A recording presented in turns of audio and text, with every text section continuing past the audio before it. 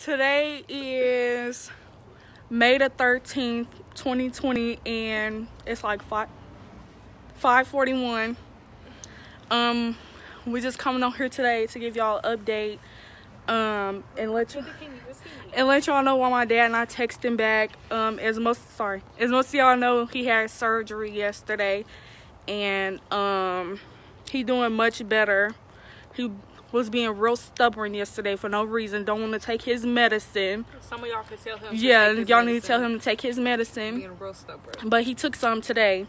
Um, yeah, so he don't really be on his phone like that. So if y'all get a text, it's most likely from us. But we be letting y'all know what he say, and he um has said thank everybody for the prayers and keep continue to pray for him, and he doing real much better.